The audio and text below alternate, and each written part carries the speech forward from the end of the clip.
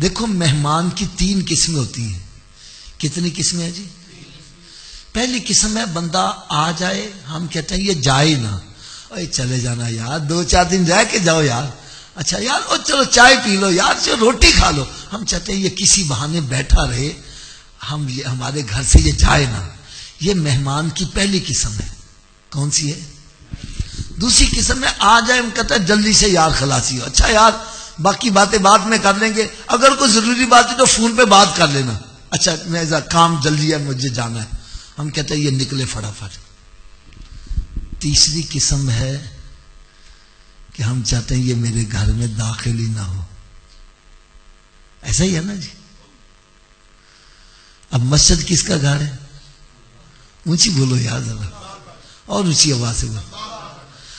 हम अल्लाह के नज़दीक मेहमानों की कौन सी किस्म में रखते हैं?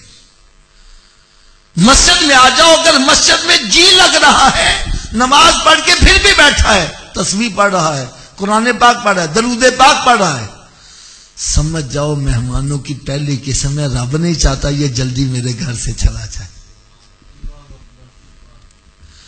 और अगर मस्जिद में आया है जल्दी जल्दी ठोंगे मार के भागने की करता है। समझ जाओ, मेहमानों की दूसरी किस्म है। रब नहीं चाहता कि ये मेरे घर में ज़्यादा देर ठहरे। और जो मस्जिद में आएँगे रहा यार, उसको अपनी किस्मत में रोना चाहिए कि वो अल्लाह की नज़र में इतना गिर गया है कि रब तला उसको अपने घर में दाखिल होने की तोफीक नहीं दे रहा।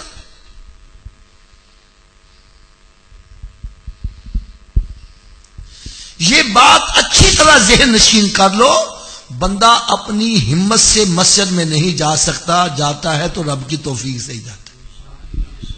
ये बात सही है या गलत है?